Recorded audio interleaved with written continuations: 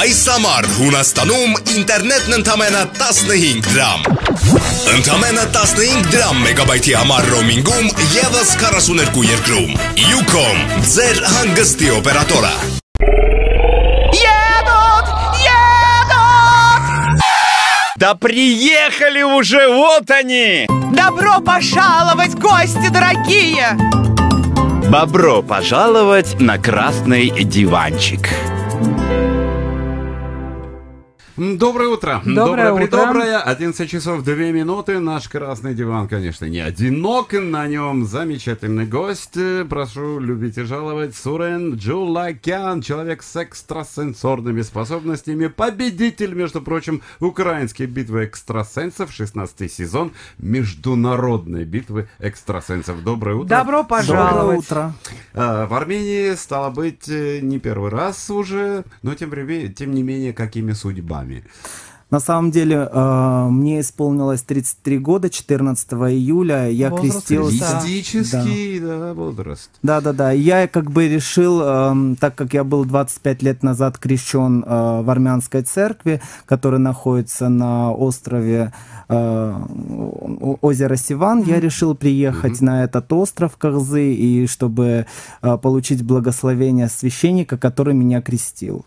Вот так вот получилось, что в июле месяце 25 лет назад я был крещен э, здесь в Армении, и мне захотелось просто ну подчерпнуть энергию этого места и получить вот благословение высших сил. Ну, сразу вопрос. Вы знаете, вот такие люди, типа вас, да, вот с какими-то паранормальными способностями, э, церковь официально к ним не очень-то хорошо относится. Это как бы разнополярные вещи. То есть э, священник, который вас крестил, знал, чем вы занимаетесь?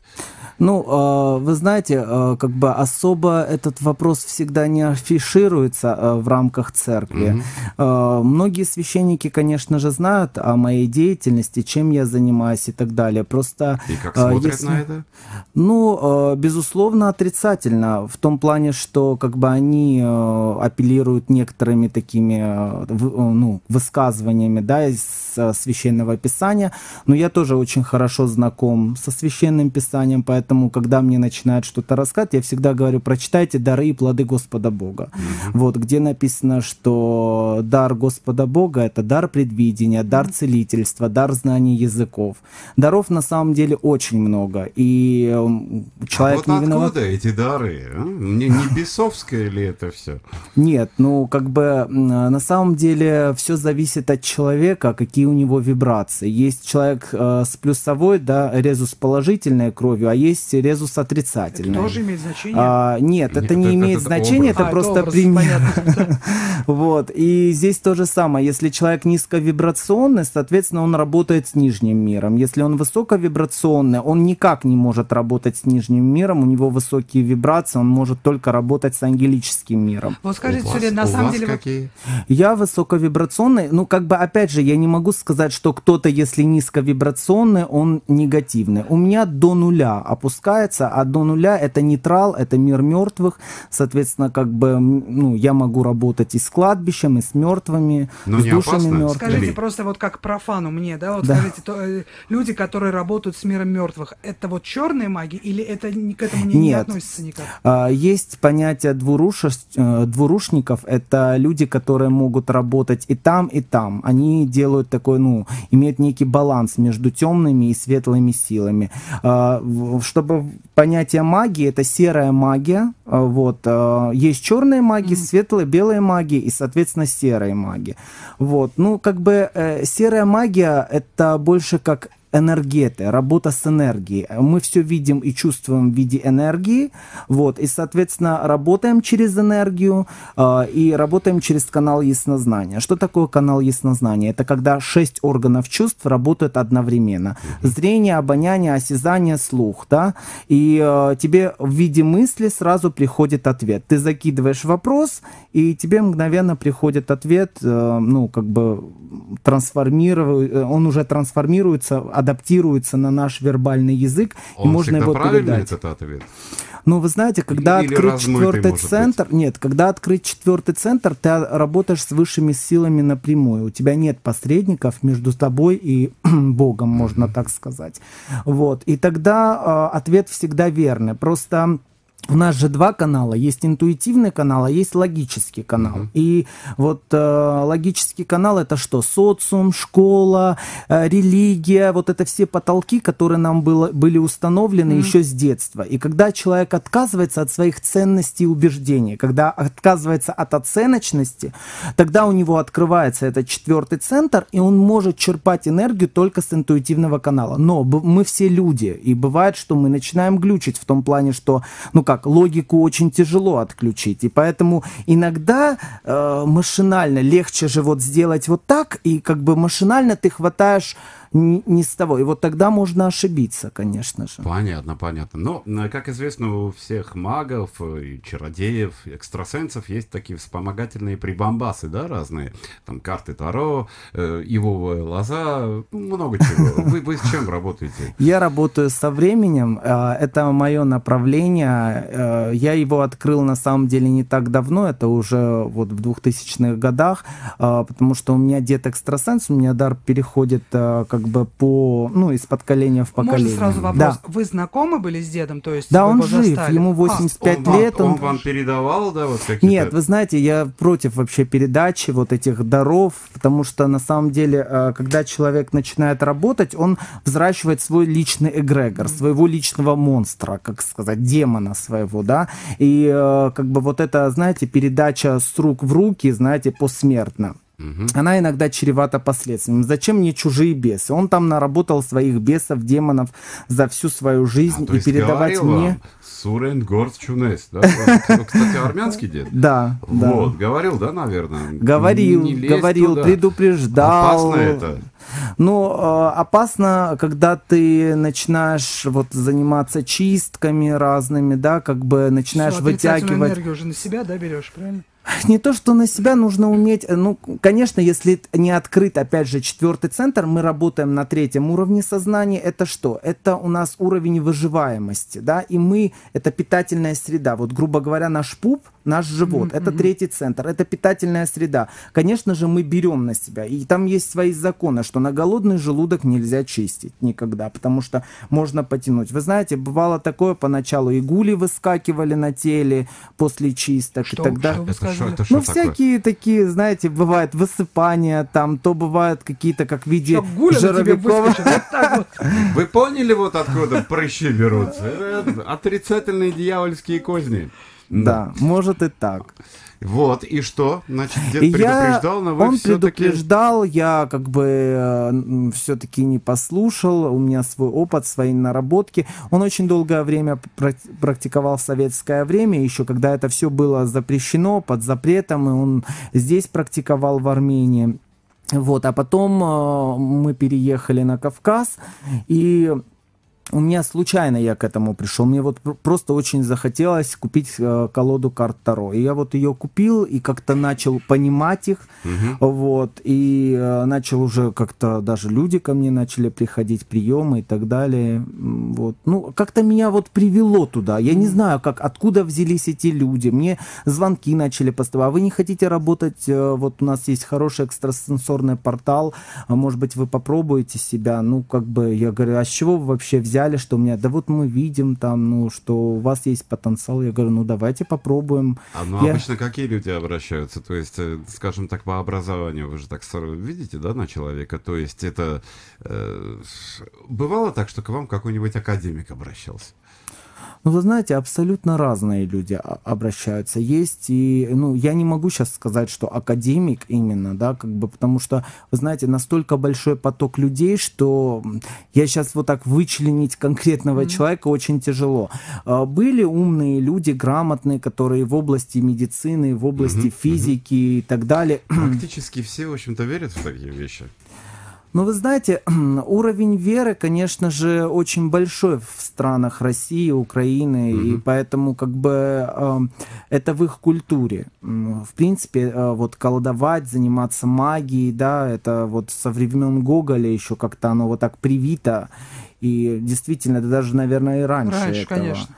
А, Вот, он просто описывал это все. Ну, я вам хочу сказать, что на самом деле все это существует. Это есть. Просто твое отношение какое. Если ты в это веришь, ну, как бы относишься к ве- с верой к этой ситуации, ну, гаданию, к экстрасенсорике, то, конечно же, это все имеет значение, на тебя это все влияет, ты, безусловно, поддаешься всем этим манипуляциям. А если переводить больше на такой биохимический, э, научный язык, можно сказать, что нас убивают наши страхи.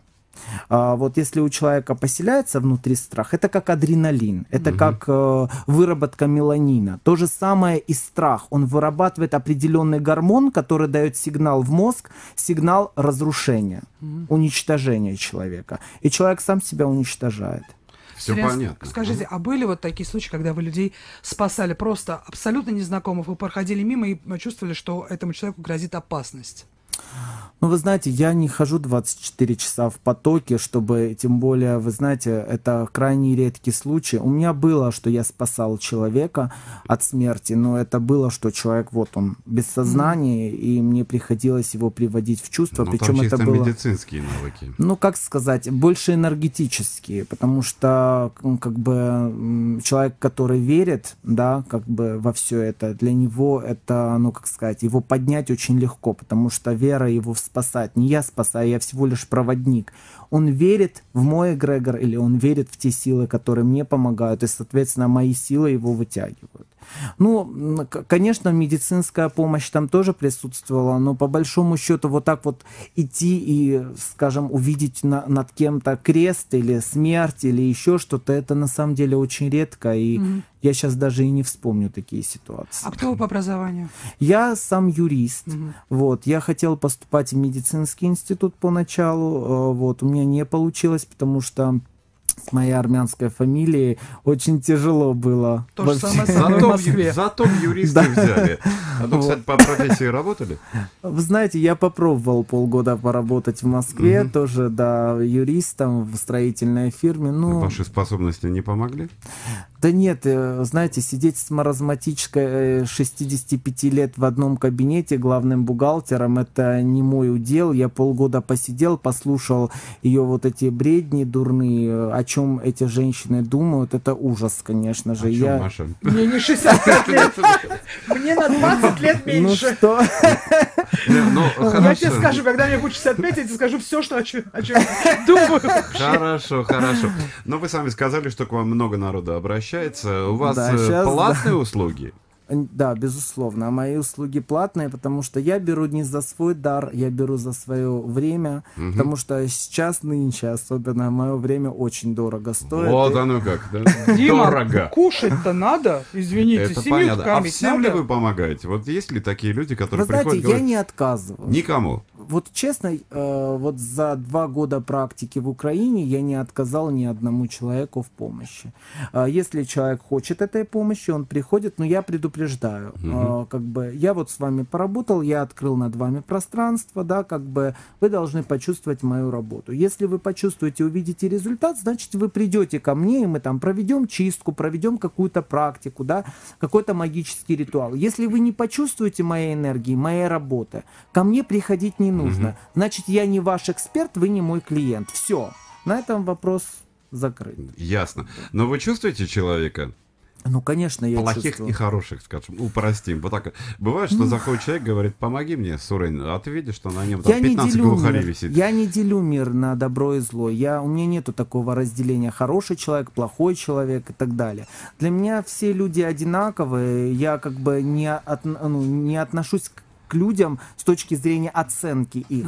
Вот. Но э, на хамство я отвечаю хамством. Как бы какой привет, такой ответ. Так, то есть этого вот христианского зеркально. постулата нету. Ударили по правой щеке, подставляю левую. Я с этим не согласен. Э, Я Дело тоже. в том, что если придут к вам домой, знаете, ограбят ваш дом, обидят ваших детей, я думаю, вы молчать не будете. Конечно. Поэтому А, ну да.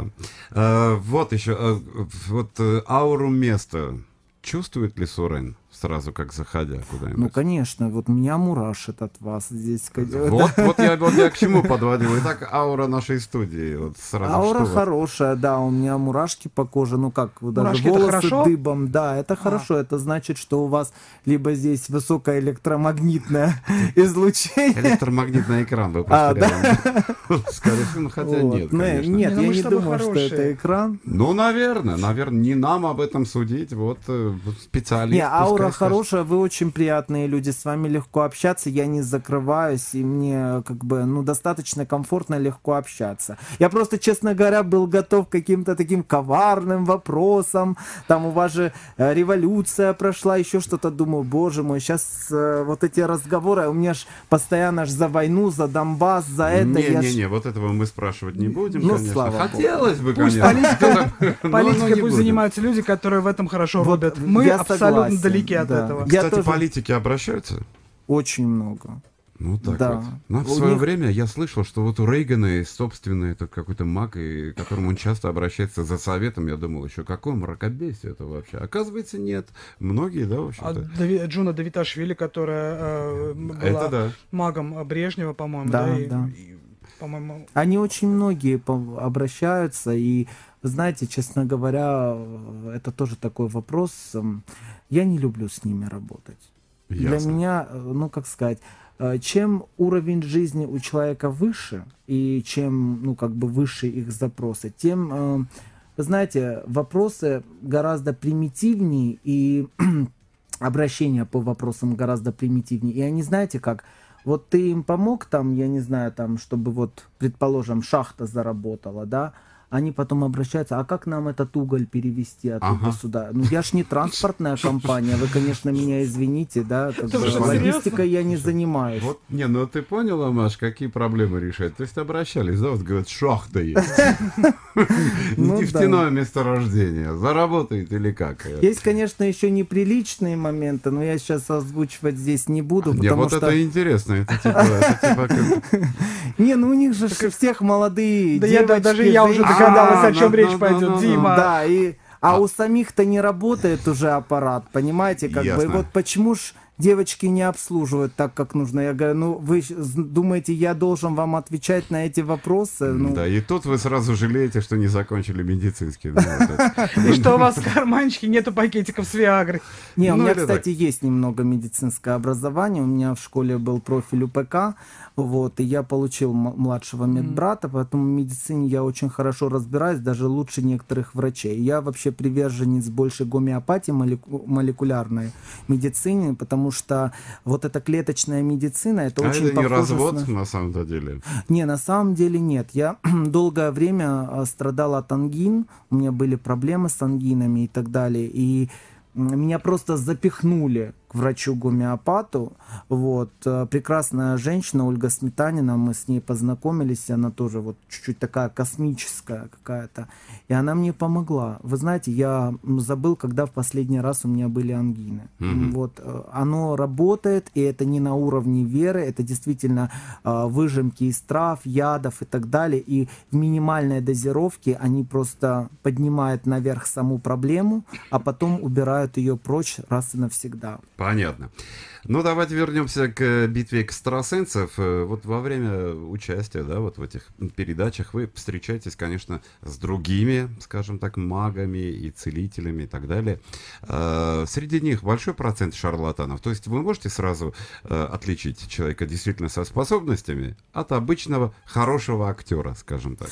Ну, я вам скажу так, на самом деле вот эта тема с шарлатанством, я вот я не понимаю, люди говорят, шарлатаны, шарлатаны. Если у человека нет способности, он на своем месте не усидит, его выкинут. А оттуда. вдруг вот я поэтому и А, говорю, а вдруг он хороший а, актер. Я знаю очень много экстрасенсов или людей, которые имеют способности, они хотят практиковать и работать. Но а, вы понимаете, если человек пришел так называемому шарлатану, значит ему кармически нужно было попасть к такому человеку, чтобы он ему дал неправильную рекомендацию, неправильный совет или вообще ничего не сделал, и тот просто откупился деньгами, и все. Понимаете, зачастую это откуп, некий откуп, да, как бы кто-то приходит, например, он совершил какой-то грех, где-то у него жадность сработала, где-то он там не додал, не отдал и, И так далее, да. остался. Вот, я, да, я к этому отношусь так, что задолжали в прошлой жизни, понимаете, как бы. Поэтому, э, если говорить о шарлатанах, то э, шарлатан не усидит на своем месте. Но Его просто есть. энергетически... Ну, вы знаете, я считаю, я знаю очень много людей, у которых нет способностей, и к ним ходят люди, Вот- вот и э, в то же время э, им как-то это помогает. Потому что э, есть э, категория людей, которые хотят слышать то, что они хотят слышать, а есть категория людей, которые хотят прийти, услышать действительно и поработать над ситуацией, а в первую очередь над собой. Вот. Но это гораздо сложнее. Очень сложно человеку в лицо сказать, что ты козел или там, что ты э, там, знаешь, э, там неприличная женщина, ты себя ну, ведешь непотребный образ жизни. Или Ну, очень приходится тяжело человек- говорить. Ну, конечно, приходится. Не приходится, я говорю открыто. И э, вот проект меня раскрыл в этом плане, да, как бы это часть моего образа, и по большому счету я жился, вжился, да, в этот образ. И э, мне не страшно сказать человеку о том, что он мудак, что он э, э, нехороший человек, что он поступает неправильно. И э, бывают люди психуют, нервничают, бывают люди спокойно реагируют на это по-разному. Но э, я работаю только с теми, у которых приходит осознание того, что они неправильно поступили в той или иной ситуации, и э, только тогда мы сможем продолжить. Когда человек идет через отрицание, нет, нет, нет, нет, нет, значит на нет и сюда нет. Вот Бог, вот порог, до свидания. Ты пришел за помощью, давай работать над собой. Не хочешь работать над собой? А, ну, извини меня, я не- волшебной палочки у меня нет. Да, это здорово. А вот э, как бы вы просто посоветовали нам, радиослушателям, про- просто как жить, чтобы избегать вот разных таких проблем? А, ну, каких проблем? Ну, А, чтобы не приставала к нам вот эта вот отрицательная энергетика. Чтобы не приставало, нужно перестать тратить свою энергию на балансировку своей жизни. Вот это самое главное. Обычно Потому что... как это происходит? А я вам скажу, э, у нас первый центр это материальный. Он отвечает за что? Это копчик. Он мужской, он отвечает за заработок, за достаток, за защиту, да, грубо говоря, защита территории и добыча.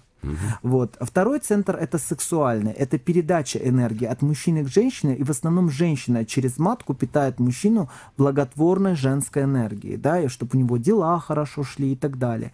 Третий центр это что? Сила намерений, это наше, а, м, как сказать, продвижение вперед, это как энергия, которая как Толкает ветер тебя. толкает наши паруса, дует в наши паруса и двигает, да, нас, наш парус вперед.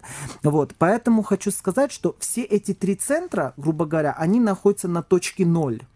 До тех пор, пока ты не откроешь четвертый центр. Это центр твоей души. Когда ты получаешь удовольствие от работы, когда ты на своем месте, когда а, ты кайфуешь от того, что ты делаешь, и это еще приносит тебе деньги, когда ты понимаешь, что твоя способность и умение, твой дар открыт, и ты этим даром можешь хоть на Камчатке зарабатывать да, деньги, то, э, поверьте мне, это напитывает человека. Нам не нужно тратить свою энергию на то, чтобы познавать какие-то науки, какую-то учебу и так далее. Это генетическая память, либо это, э, либо это информация, которая идет от высших сил напрямую. Вот у тебя два ящика, тебе нужно сделать выбор, правый или левый, понимаешь? И тебе не нужно логически продумывать механизм, как подойти к этому ящику, да, и чтобы точно попасть. Логически это можно продумать, но по большому счету ты потратишь очень много времени и энергии, чтобы четко определить,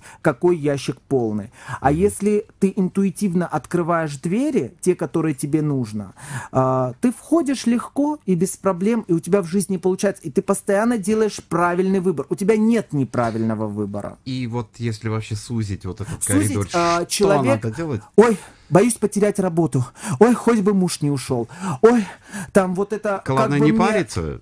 Ну, конечно, э, не тратить на это энергию, потому что это как лодка, которая на воде. Она качается то вниз, то вверх. И вот ты пытаешься поймать вот этот баланс равновесия и постоянно падаешь, проваливаешься либо на первый центр, у тебя идут проблемы материальные, либо на второй центр, у тебя проблемы в семье или в личной жизни, или заблокировался центр. И все. Все идет от нашей лени и балансировки. Если мы расслабимся, перестанем балансировать, перестанем контролировать ситуацию, если мы научимся относиться к людям с душой, с любовью, да, а не оценивать их, ой, вот как вы одеты там, а как вы говорите, а вот, вот что-то там не так. То есть отсюда вывод, главный пофигизм залог успеха и здоровья.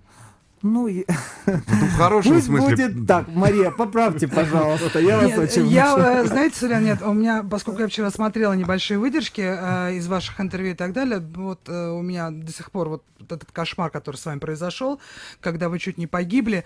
э, слава богу, вы и ваша семья очень молодые, кстати, очень красивые родители у вас. Спасибо большое. И все остались живы, но вы потеряли семью в плане того, что ваша супруга, как я поняла, потеряла ребенка.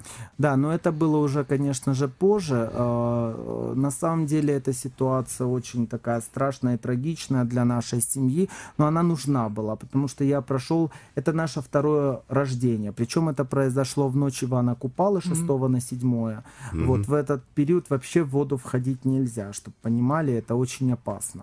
Вот, и Хочу сказать, что да, действительно, я очень сильно отгонял мысли о том, что все-таки не родится мой первенец, да, и так далее. Для меня это было очень страшно, что такое может произойти.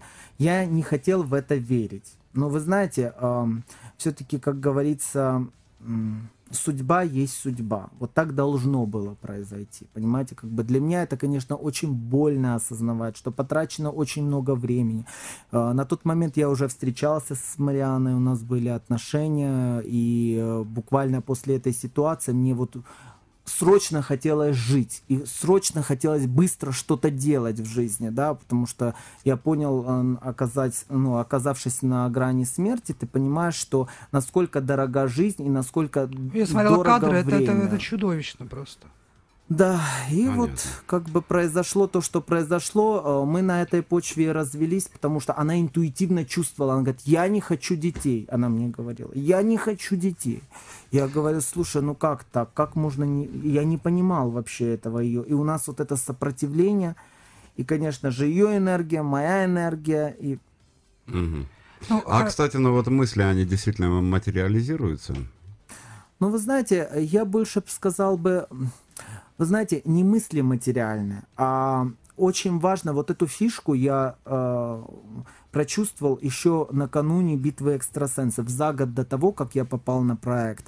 Э, я понял, э, как вообще осуществлять свои желания.